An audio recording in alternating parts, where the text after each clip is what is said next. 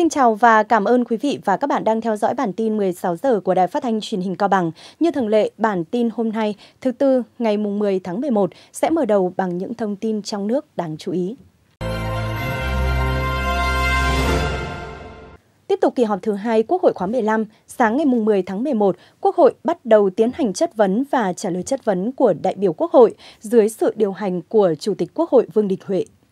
Trả lời chất vấn của đại biểu Quốc hội nhóm vấn đề thuộc lĩnh vực y tế, Bộ trưởng Bộ Y tế Nguyễn Thanh Long cho biết, Bộ Y tế đang từng bước minh bạch việc cung ứng trang thiết bị vật tư sinh phẩm y tế, đồng thời khẳng định đảm bảo quản lý giá trang thiết bị y tế, giá test COVID-19 theo phương thức thực thanh, thực chi. Bộ trưởng Bộ Y tế Nguyễn Thanh Long cho biết, chuyển sang thích ứng an toàn, linh hoạt và hiệu quả với dịch COVID-19, việc chuẩn bị các cơ sở vật chất, đặc biệt lĩnh vực y tế rất quan trọng – Bên cạnh đó, các địa phương phải chủ động triển khai hiệu quả tất cả các biện pháp về phòng chống dịch. Về việc cách ly F1 tại nhà, Bộ trưởng Bộ Y tế cho biết, Nghị quyết 128 NQCP và quyết định 4800 qdbit đã hướng dẫn việc xét nghiệm cách ly y tế đối với những trường hợp đi từ vùng dịch trở về đối với cấp độ 3, cấp độ 4 được phân ra làm nhiều quy định. Về giá trang thiết bị sinh phẩm, vấn đề mà dư luận và nhân dân quan tâm – Bộ Y tế đã từng bước minh bạch hóa việc cung ứng trang thiết bị, vật tư sinh phẩm y tế. Bộ Y tế đã liên tục yêu cầu và đã có hai văn bản đề nghị các doanh nghiệp chung tay phòng chống dịch, tăng nguồn cung để cung ứng cho thị trường Việt Nam và hạ giá thành sản phẩm. Đồng thời, Bộ đã tăng cường cấp phép để tạo cạnh tranh giữa các đơn vị. Về việc phân bổ vaccine cho các địa phương trên cả nước, Bộ Y tế phân bổ vaccine dựa trên nghị quyết 21 NQCP của Chính phủ, trong đó có địa bàn ưu tiên trọng điểm và đối tượng ưu tiên. Phân bổ cho các tỉnh, thành phố có tình hình dịch bệnh diễn biến phức tạp, những địa phương có nguy cơ rất cao, đông khu công nghiệp, là đầu tàu kinh tế, đầu mối giao thông, mật độ dân cư đông. Liên quan đến câu hỏi tiêm vaccine mũi 3, hiện nay Bộ Y tế mới lập kế hoạch tiêm mũi 3 và chưa triển khai – dự kiến triển khai tiêm vào cuối tháng 12 năm 2021. Các đầu mối nhập khẩu hàng hóa tại EU đang tính tới việc bán hàng cầm chừng để dành hàng hóa cho dịp cuối năm, nên đây sẽ là cơ hội rất tốt cho các doanh nghiệp xuất khẩu của Việt Nam. Hiện nay, do ảnh hưởng của dịch COVID-19, nguồn cung hàng hóa cho thị trường EU đang đứt gãy. Ở thời điểm hiện tại, lần đầu tiên các đầu mối nhập khẩu hàng hóa tại EU phải nghĩ tới việc bán hàng cầm chừng để dành hàng hóa cho dịp cuối năm. Đây là cơ hội rất khó lặp lại trong lịch sử mà doanh nghiệp xuất khẩu Việt Nam cần hết sức quan tâm nắm bắt. Theo Bộ Công Thương đánh giá thị trường EU đang phục hồi mạnh mẽ, tuy nhiên trong bối cảnh dịch bệnh, các doanh nghiệp cần đặc biệt coi trọng yếu tố thương mại điện tử xuyên biên giới và trong EVFTA có chương về thương mại điện tử. Theo đó, gần như các giao dịch thương mại cả hai bên đều được miễn thuế. Xuất khẩu hàng hóa sang EU qua thương mại điện tử xuyên biên giới là vấn đề mới mở ra mà doanh nghiệp cần lưu ý. Ngoài những quy định thông thường, thị trường EU còn có quy định riêng theo từng mặt hàng, sản phẩm khá khắt khe. Doanh nghiệp phải đầu tư bài bản tận dụng công nghệ tiên tiến từ đầu tư EU vào Việt Nam để sản phẩm sản xuất ra phù hợp với yêu cầu tiêu chuẩn kỹ thuật của EU. Mặc dù kỳ vọng rất nhiều vào thị trường EU, song nhiều chuyên gia cũng lưu ý đây là thị trường xuất khẩu lớn nhưng khó tính và EU xây dựng hàng rào bảo hộ chắc chắn với các quy định khắt khe để bảo vệ sức khỏe người tiêu dùng – Đặc biệt, từ sau đại dịch COVID-19, người tiêu dùng EU đang hướng đến những sản phẩm xanh. Bên cạnh đó, hướng đến kinh tế xanh, kinh tế số nên áp dụng nhiều biện pháp phòng vệ thương mại. Sở Y tế thành phố Hồ Chí Minh đã phối hợp với lực lượng quân y để tăng cường thêm 33 trạm y tế cho 4 quận huyện là quận 12, quận Hóc Môn, huyện Bình Chánh, quận Bình Tân. Trước tình hình F0 cách ly tại nhà gia tăng, ngày 9 tháng 11, Sở Y tế đã phối hợp với lực lượng quân y để tăng cường thêm 33 trạm y tế lưu động cho 4 quận, huyện là quận 12, 20 trạm, huyện Hóc Môn 4 trạm, huyện Bình Chánh 8 trạm và quận Bình Tân 1 trạm. Các địa phương thực hiện xét nghiệm giám sát đối với các khu vực nguy cơ, nhóm nguy cơ trên địa bàn dân cư theo kế hoạch giám sát định kỳ, ngẫu nhiên của Ban chỉ đạo phòng chống dịch địa phương. Khu vực nguy cơ gồm chợ đầu mối, chợ truyền thống, bến xe, siêu thị, cơ sở bảo trợ xã hội. Nhóm nguy cơ gồm có tiểu thương, nhân viên bán hàng, nhân viên bán vé, nhân viên bảo vệ, người lái xe mô tô chở khách, xe ôm, người giao hàng, shipper. Các đối tượng trên được cho xét nghiệm định kỳ hàng tháng bằng phương pháp xét nghiệm RT-PCR mẫu gộp 10. Tỷ lệ lấy mẫu xét nghiệm tương ứng theo cấp độ dịch của phường, xã, thị trấn. Để sớm bao phủ trên diện rộng và tạo được miễn dịch trong cộng đồng, ngoài các điểm tiêm cố định, các tỉnh đồng bằng sông Cửu Long còn tổ chức tiêm vaccine tại nhà dân. Tại buổi tiêm vaccine phòng COVID-19 tại thành phố Bạc Liêu, Điểm đặc biệt là lực lượng y tế sẽ đến tận nhà để khám sàng lọc và tiến hành tiêm cho người dân. Cụ thể, để bao phủ được gần 1 triệu liều vaccine phòng COVID-19 ngay trong tháng này, Bạc Liêu đã kích hoạt 64 trạm y tế xã phường thị trấn tăng tốc tiêm cố định và lưu động. Lực lượng tiêm lưu động sẽ ưu tiên hỗ trợ cho người già, người khuyết tật. Tại An Giang, Kiên Giang, các trạm y tế lưu động cũng đang tăng cường đến nhà tiêm vaccine cho người dân – Hiện tỷ lệ tiêm mũi 2 ở các địa phương đạt từ 20 đến 30%, con số này dự kiến sẽ tăng từ 80 đến 90% vào tháng 12 tới. Không chỉ tạo điều kiện thuận lợi cho người dân mà việc tổ chức tiêm vaccine tại nhà còn hạn chế tập trung đông người. Từ đó giúp cho chiến dịch tiêm vaccine phòng COVID-19 nhanh, an toàn và hiệu quả. Tận dụng thời gian cách ly tập trung, cô trò một trường tiểu học ở Nam Định đã tổ chức lớp học trực tiếp vừa giúp các em vơi đi nỗi nhớ nhà, vừa không bỏ lỡ chương trình. Không thời khóa biểu, chẳng cần đồng phục, những tiết học của học sinh lớp 2B trường tiểu học Trần Quốc Toàn, thành phố Nam Định có thể diễn ra vào bất cứ khung giờ nào trong ngày. Hơn một tuần qua, lớp học này cũng là nơi cách ly tập trung của các em. Khu cách ly tập trung tại trường học này có 43 học sinh và 3 thầy cô giáo để hỗ trợ các thầy cô, một số phụ huynh tình nguyện ở lại chăm sóc cho các em. Tính đến thời điểm hiện tại, tất cả các em đã có kết quả xét nghiệm âm tính với SARS-CoV-2. Để đảm bảo an toàn phòng dịch, các em sẽ tiếp tục cách ly tập trung đến hết thời gian quy định. Một cuộc thi vẽ nhỏ về phòng chống dịch đã được thầy cô phát động như một cách để các con lưu lại những kỷ niệm khó quên trong khoảng thời gian này. Ngoài thành phố Nam Định, bắt đầu từ ngày 9 tháng 11, có thêm 4 huyện của địa phương này bắt đầu cho học sinh chuyển từ học trực tiếp sang học trực tuyến – Đối với các thầy cô, nhiệm vụ lúc này không chỉ đảm bảo chương trình học mà còn phải giúp học sinh ổn định tâm lý. Chỉ trong vòng gần một tuần qua, đợt dịch COVID-19 mới ở Trung Quốc đã lan ra 4 trường tiểu học ở hai địa phương, khiến các chuyên gia nước này buộc phải kêu gọi tăng tốc tiêm chủng cho trẻ từ 3 đến 11 tuổi. Hai địa phương xuất hiện các cụm dịch trong trường tiểu học là tỉnh Hà Nam ở miền Trung và tỉnh Hà Bắc ở miền Bắc Trung Quốc. Dịch bệnh ở thành phố Tân Tập tỉnh Hà Bắc cũng lan ra nhiều ngôi trường, trong đó có hai trường tiểu học. Các quan chức và chuyên gia nước này một lần nữa khẳng định tính cấp bách của việc tiêm chủng cho trẻ từ 3 đến 11 tuổi. Họ cũng kêu gọi đẩy nhanh việc tiêm mũi nhắc lại để sớm đạt miễn dịch cộng đồng khi đối mặt với mối đe dọa kép của thời tiết lạnh và biến thể Delta.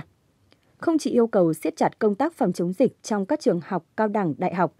trung học và tiểu học, Giờ đây, cơ quan y tế Trung Quốc đã phải để mắt tới các nhà trẻ và cơ sở trông giữ trẻ dưới 3 tuổi. Miễn dịch cho trẻ em là một phần trong chiến lược của Trung Quốc nhằm đạt miễn dịch cộng đồng thông qua tiêm chủng. Nước này đang đặt mục tiêu hoàn thành tiêm chủng cho nhóm tuổi này vào cuối tháng 12 trên cơ sở tự nguyện. Bản tin tiếp tục với một số tin tức đáng chú ý trong tỉnh.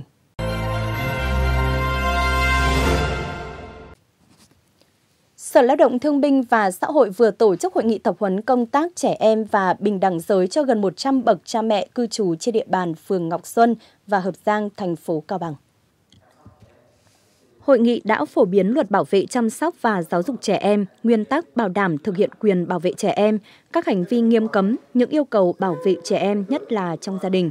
cơ sở giáo dục và cộng đồng, vấn đề bạo lực, xâm hại tình dục, bóc lột sức lao động trẻ em, các biện pháp phòng chống, cách xử lý cũng như trách nhiệm của các cấp trong việc bảo vệ trẻ em.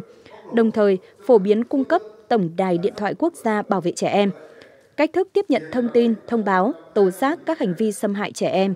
Hội nghị cũng đã phổ biến luật bình đẳng giới, chính sách của nhà nước, trách nhiệm của cơ quan tổ chức cá nhân trong việc thực hiện bình đẳng giới.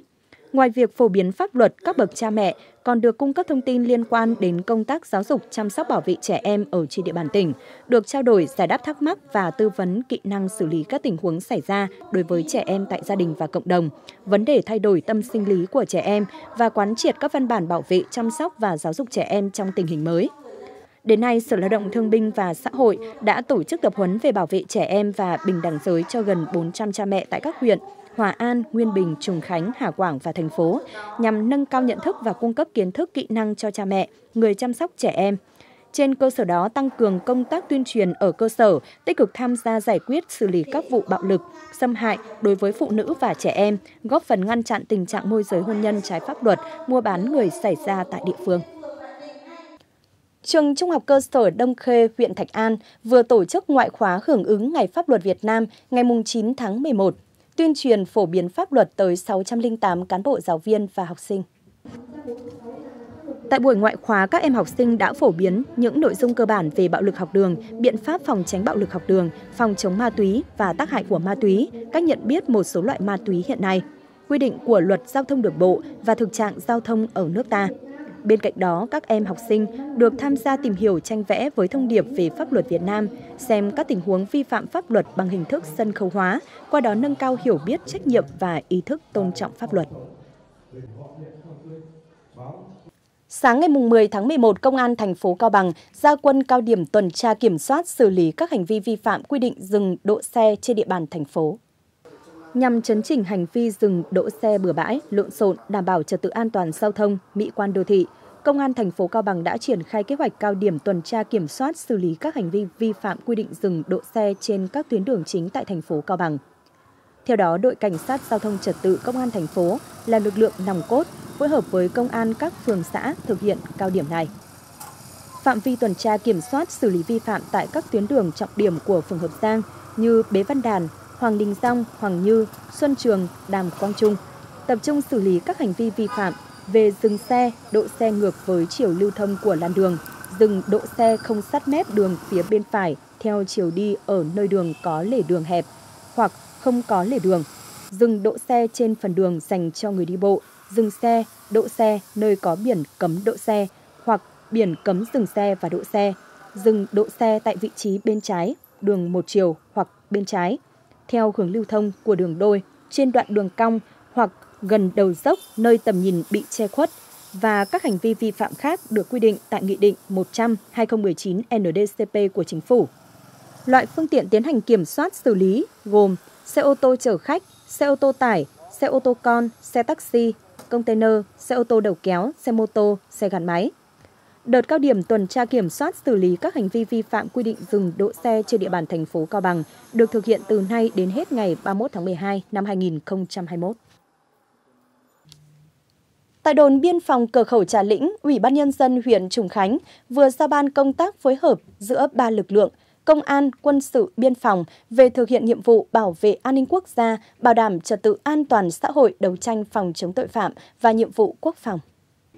Trong tháng 10 năm 2021, ba lực lượng công an, quân sự, biên phòng huyện Trùng Khánh đã duy trì thực hiện có nền nếp công tác phối hợp, duy trì tốt các chốt chặn tại các đường mòn lối mở, thường xuyên trao đổi thông tin đấu tranh phòng chống có hiệu quả với các loại tội phạm, các vụ việc xảy ra trên địa bàn biên giới, đã bắt giữ 6 vụ trên 6 đối tượng về hành vi tàng trữ mua bán trái phép chất ma túy, thu giữ 144,61 gam heroin, 0,72 gam ma túy đá, 121 triệu 585 nghìn đồng và nhiều tăng vật có liên quan khác. Phát hiện bắt giữ 47 vụ trên 28 đối tượng về hành vi vận chuyển trái phép hàng hóa, tăng vật thu giữ 27 con trâu, 5 con bò, 3 con ngựa, 15.145 kg thực phẩm đông lạnh các loại, xử lý 2 vụ trên 17 đối tượng về hành vi xuất cảnh trái phép, 8 vụ trên 47 đối tượng nhập cảnh trái phép từ Trung Quốc về Việt Nam, tiếp nhận do Trung Quốc trao trả 43 vụ trên 566 công dân, trao trả cho Trung Quốc 2 vụ trên 2 đối tượng. Nhiệm vụ tháng cuối, các lực lượng tăng cường tuyên truyền vận động quần chúng nhân dân nâng cao nhận thức tham gia công tác quản lý bảo vệ biên giới, giữ gìn an ninh chính trị trật tự an toàn xã hội, giải quyết dứt điểm có hiệu quả các vụ việc xảy ra, duy trì nghiêm công tác trực sẵn sàng chiến đấu, nâng cao hiệu quả công tác phòng chống xuất nhập cảnh trái phép, buôn lậu và vận chuyển hàng hóa trái phép qua biên giới. Ủy ban Nhân dân huyện Hạ Lang vừa tổ chức hội nghị thường kỳ đánh giá tình hình thực hiện mục tiêu nhiệm vụ phát triển kinh tế xã hội tháng 10 và triển khai nhiệm vụ công tác tháng 11 năm 2021. Trong tháng 10 đầu năm, tổng sản lượng lương thực huyện Hạ Lang đạt 6.473 tấn bằng 102% kế hoạch. Phòng chống đói rét cho gia súc tiêm phòng vaccine định kỳ cho đàn gia súc gia cầm, tiêu độc khử trùng môi trường đợt 2, dịch tả lợn châu Phi đã xảy ra tại 216 hộ của 41 xóm, 867 con lợn chết, bệnh viêm da nổi cục châu bò đã xảy ra tại 12 trên 13 xã thị trấn. Tổng số con mắc bệnh 231 con, trong đó chết 16 con, di rời 148 chuồng chăn nuôi ra khỏi gầm sàn nhà ở, đạt 35,6% kế hoạch. Đến ngày 31 tháng 10 năm 2021, thu ngân sách trên địa bàn 20,504 tỷ đồng, đạt 103% kế hoạch tỉnh giao, đạt 102,52% kế hoạch Hội đồng Nhân dân huyện giao. Đến nay, huyện Hạ Lang tiếp nhận 2.842 công dân Việt Nam trở về từ Trung Quốc đưa vào khu cách ly tập trung. Tiêm vaccine phòng COVID-19 được 22.857 liều tiêm mũi 1 và tiêm 9.515 người đủ 2 mũi. Tình hình quốc phòng an ninh luôn được giữ vững. Nhiệm vụ tháng 11, huyện Hạ Lang triển khai kế hoạch sản xuất vụ đông xuân,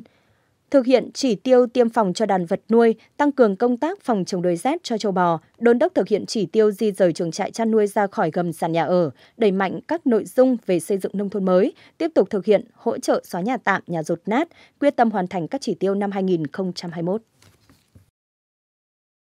Bản tin 16 giờ chiều nay xin được kết thúc tại đây. Cảm ơn quý vị và các bạn đã quan tâm theo dõi. Xin kính chào tạm biệt và hẹn gặp lại.